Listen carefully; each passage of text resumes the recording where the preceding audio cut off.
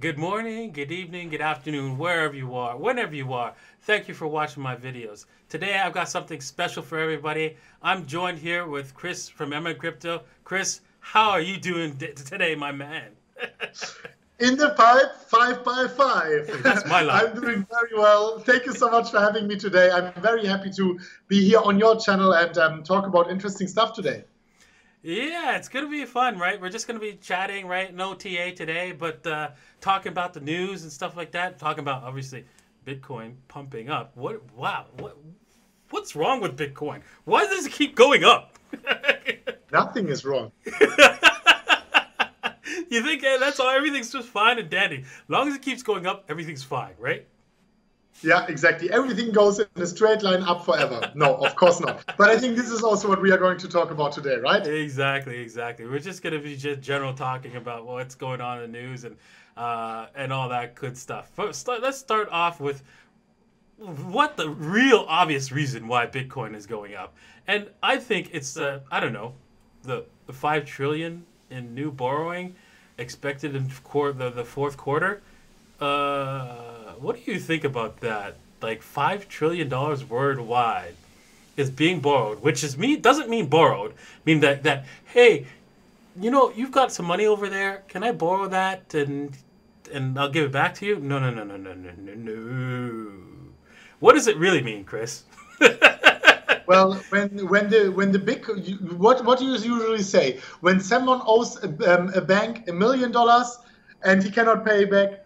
The debtor has the problem. But when someone owes a bank a billion dollars, for example, the bank has a problem. And I think this is the case here. Everyone who is borrowing it, whether it's a big corporations or whatever, too big to fail banks, then um, I think these these banks they are too big to fail, and they will not pay pay it back. And the only um, the only way out of this massive spiral is, of course, just printing more and more. So I think these five trillion they will easily translate in a much higher number in the future.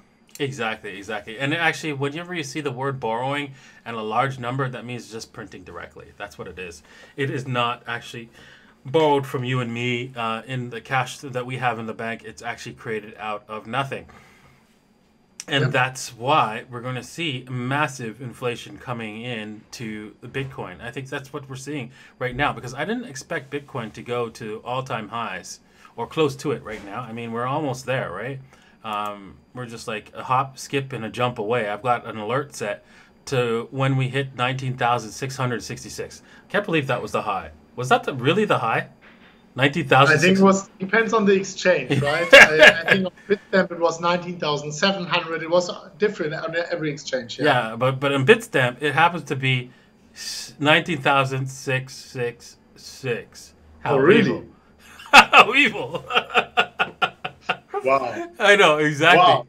I know. I I just noticed that, and I'm like, I'm noticing that just now. It's, a, it's like this happens this number we see it a lot. So we always know whoever was involved in this specific blow off top was not a nice person. Exactly. But you know it's a lot of skill to get that get that price. It had to hit that price and then back off. So you must have a lot of bitcoin to be selling it to make sure that nobody so that they, they actually back it off from that price. So it's quite interesting. All right um, what do you think, man? PayPal, right? They uh, they announced uh, that now you can actually buy uh, crypto, that Bitcoin, Litecoin, uh, Ethereum, and B- Bcash, all on the PayPal network. And I tested it. I went on to the. I have a PayPal account, a U.S. PayPal account. I went on and I was like, I saw it. I was like, oh my god, it was mind blowing, man. How, how did you feel? How do you feel about that, man? I think it's amazing. I mean, in the end of the day, we want, don't want to be dependent on institutions or big corporations. But if this means that finally the auntie or the grandma can finally also get a hold of some some Bitcoin, at least get the step in the in the door, then I, am in, man. I think it was great news. I made an emergency live episode when it happens. I'm very happy about that. And um, I mean, the next step for PayPal should be hopefully that they enable withdrawals. That would be then a full service because only when you can withdraw your Bitcoin in the end, it's you can you can call it real Bitcoin. Otherwise, it's just some kind of IOU, but uh, MOU but it's nice. It's nice. I, I'm happy about the news and um, I'm pumped about it as well. I would love to see it in my own PayPal account, but I don't have a US PayPal account, so I can I can understand your excitement. And you can see in the markets after this was announced, Bitcoin pumped from 12,000 to 19,000. So it was not the only reason, but it was one of the main reasons. Correct, man. Excellent. I mean, oh my gosh. You know what? The only well, thing they're missing at their at the, what was that? I, I just wanted to add one thing. I think PayPal has like 350 million accounts or so. I mean, all of these are now potential buyers for Bitcoin, right? exactly. So uh, this is great news. 350 million people potentially now also being able to join the space. This is more people than we have in the whole crypto space right now, right? Exactly. I mean, it's incredible, man. I know. 300, you know, just think about that for a second. Yeah, I never thought about that for a second. We and think about think about that. We have like also 30 million merchants or so uh, having PayPal in their in their payment uh, options. I mean, this is what it's about, right? We exactly. want merchants. Exactly. Uh, the only thing that they're missing is my DJ15 token, right? so they're missing that, right? so uh, if you're interested in figure out finding out how to buy that, it's a link in the description below, and you can join the live streams right uh, that I do every single day. All right. Um, one more news article I want to talk about. Right, is this bad news article for the week on crypto? Right. I'm like bad news. Right. Blockchain is good for hodling, but not for voting. Bad crypto news for the week. Really? Uh, uh, let me let me let me tell you what I think about this, and then you then I want to hear what you have to to say about it. Right. First off, right. Yes, you can use you can use blockchain or Bitcoin or any kind of cryptocurrency for voting.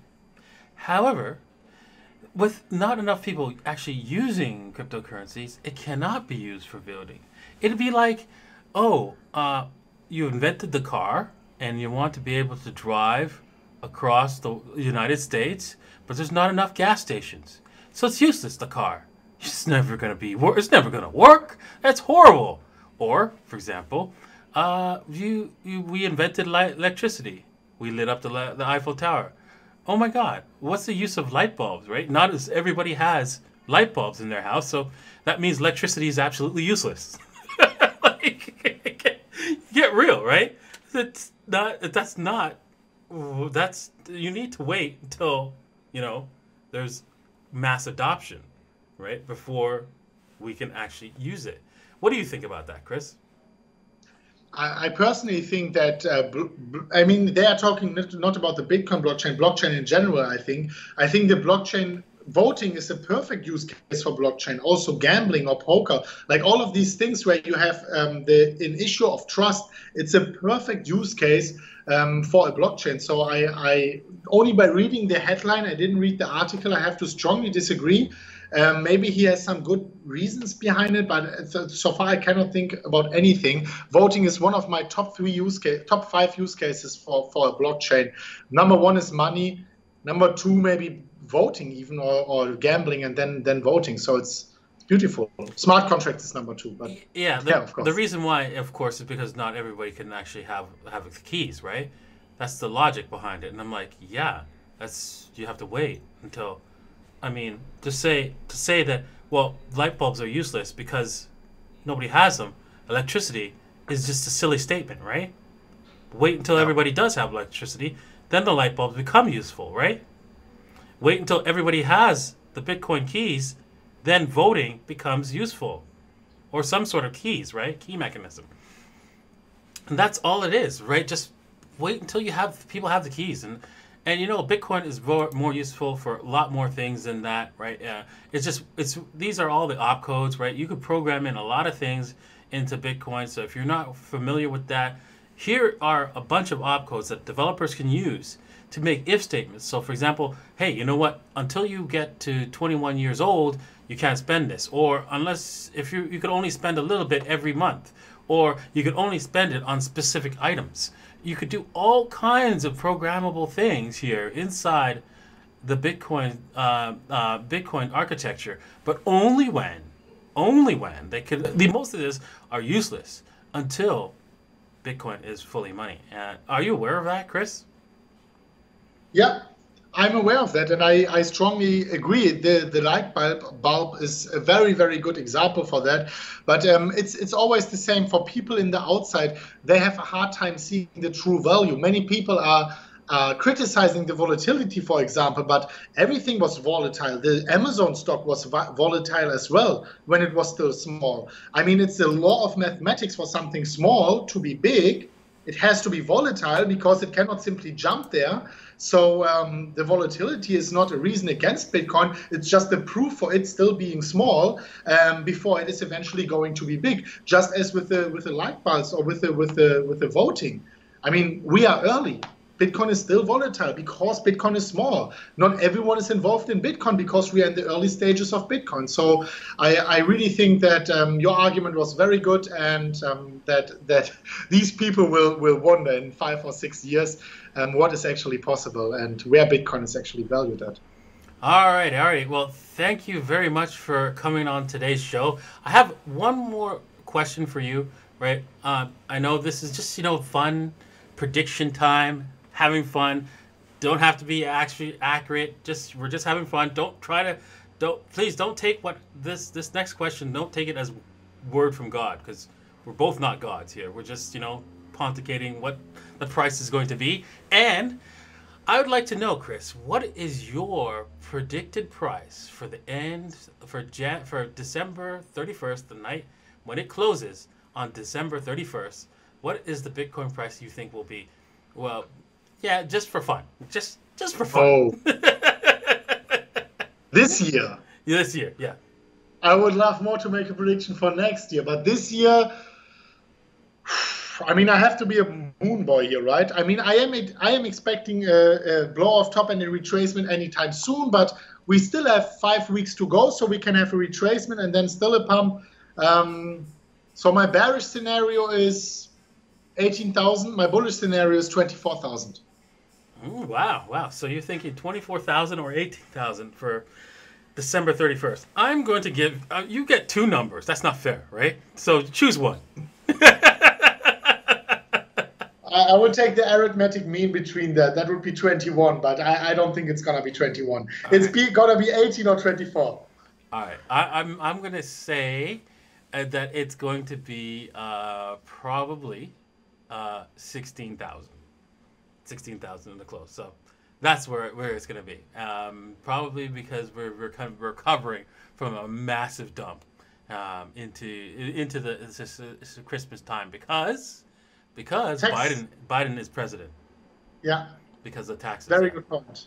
Yeah. So that's why I, I think that will cause a lot of people to realize, ooh, you know what? He's going to tax me on that, so maybe I should like take the profits right now. So that is my estimate, my guesstimate. It may be incorrect. Uh, I don't know. So uh, just don't hold me to it. Then uh, that's what I'm saying. All right. Thank you all for watching, and uh, we will see you guys in the next live stream. Cheers.